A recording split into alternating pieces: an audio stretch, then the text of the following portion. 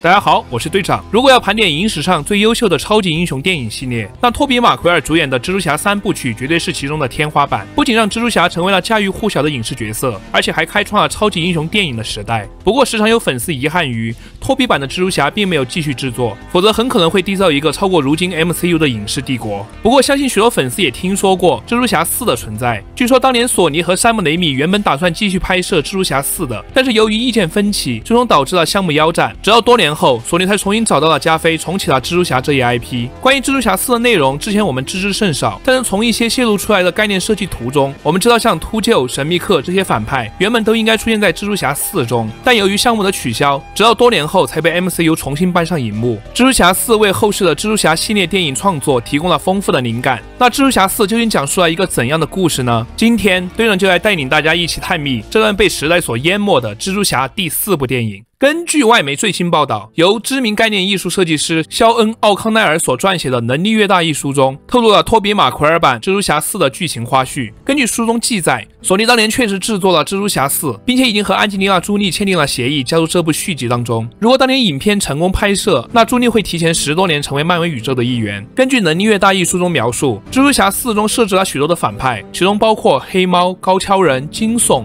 神秘客和秃鹫，而其中秃鹫是影片的主要反派，并且还会在影片中进行衣钵的传承。老秃鹫死后，他的女儿会成为秃鹫女，而安吉丽娜·朱莉所饰演的正是秃鹫女这个角色。根据记载，安吉丽娜·朱莉饰演的角色在影片当中是一位成功的高管，她正代表一家风险投资公司收购《号角日报》。这个版本的秃鹫阿德里安·图姆斯在影片的设定里，他是一个赏金猎人，私底下承接政府派遣下来的一些脏活。造型和漫画比起来的话有些不同。山姆·雷米想设计一个更加现代化的制服，秃鹫的翅膀。是它的主要武器，翅膀上面的羽毛被设计成锋利的刀片，能够自由的翻转。根据剧情的发展，秃鹫由于常年替政府办事，因此遭到了恶棍的追杀。在一个医院的场景中，秃鹫遭到了一群暴徒的袭击，不过最终秃鹫顺利逃脱。同时，电影还解释了秃鹫外号的由来，是因为阿德里安·图姆斯的行事非常的凶狠残忍，绝不留下一丝痕迹，就像是被秃鹫啃食过的尸体一样，因此得名秃鹫。接着，《能力越大》一书中提到，秃鹫会和蜘蛛侠有一个很大的打戏，发生在曼哈顿中城花旗集团中。心的顶部，在这个场景中，秃鹫几乎杀死了蜘蛛侠，但是蜘蛛侠最终一招反击，导致了秃鹫意外死去。书中记载，他们将进行一场斗殴，先是在纽约的地铁隧道里，然后随着打斗的进行，两人从隧道冲出，并飞到楼顶。战斗中，秃鹫差点杀死蜘蛛侠，蜘蛛侠受到了很严重的伤，流了很多血，他遇上了真正的麻烦。但是最后，彼得依靠蜘蛛反应甩开了秃鹫，并且还给予了反击。而在这个过程中，意外折断了秃鹫的一节翅膀，导致秃鹫从大楼顶部跌落，最终死亡。